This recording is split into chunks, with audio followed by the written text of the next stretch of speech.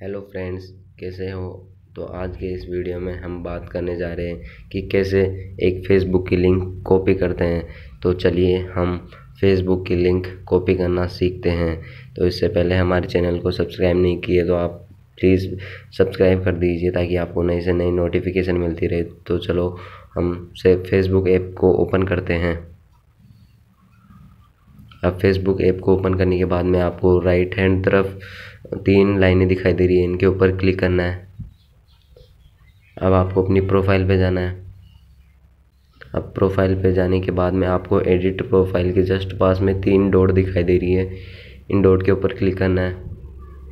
अब क्लिक करने के बाद नीचे की तरफ़ स्क्रॉल करना है और आपको एक कॉपी लिंक का ऑप्शन दिखाई दे रहा है। आप इस कॉपी लिंक को कर लें ताकि कॉपी, आपकी लिंक कॉपी हो जाएगी। तो आपकी लिंक कॉपी हो चुकी है। आप अब इसको कहीं भी पेस्ट कर सकते हैं। अगर आपको मेरी वीडियो अच्छी लगे तो प्लीज़ लाइक शेयर कमेंट ज़रूर कीजिए ताकि मेरा मोटिवेशन बना रहे। इसलिए थैंक्स